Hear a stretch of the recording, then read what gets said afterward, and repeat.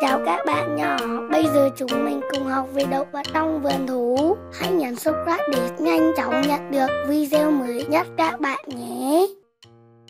Đây là con hươu cao cổ. Đây là con hươu cao cổ. Hươu cao cổ.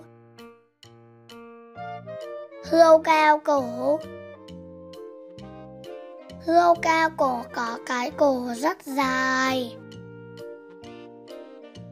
Hươu cao cổ có cái cổ rất dài.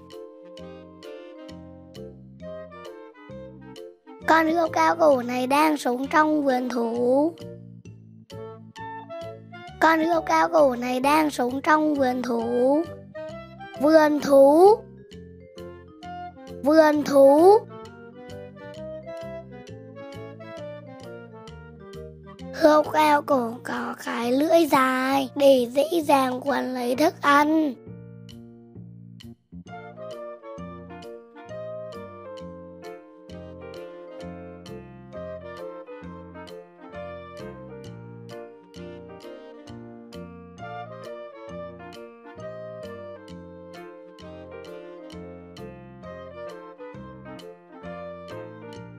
Hươu cao cổ có cái lưỡi dài để dễ dàng quấn lấy thức ăn.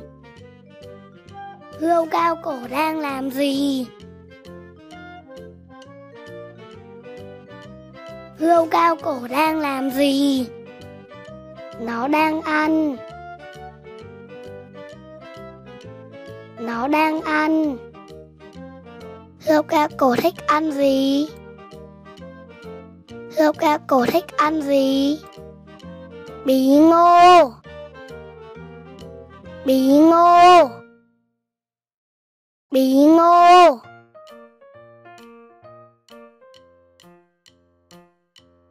Con hươu cao cổ thật là thân thiện với các bạn nhỏ.